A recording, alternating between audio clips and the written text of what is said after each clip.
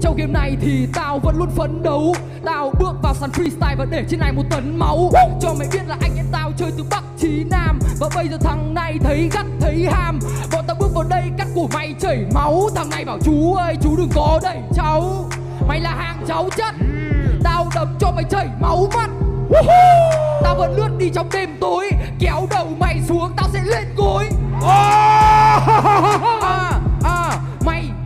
muốn thấy cảnh một thằng Ok. Bắc chưa Thấy tao gắt chưa?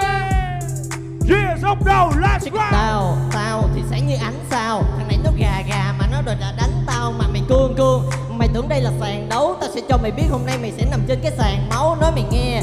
Trình mày vẫn còn nhỏ xíu Tao sẽ chơi mày như cái cách tao bỏ điếu. Tao sẽ giới thiệu với mọi người tao sốc nâu. Tao sẽ diss mày cái thằng có ốc trâu. Ê, Mày làm sao của tao thì chắc chắn là hơi cao Trình của mày thì hơi thấp là không có cân bằng. Tao nói sẽ cho tao tắt chi mày cái chân chàng tiếp theo.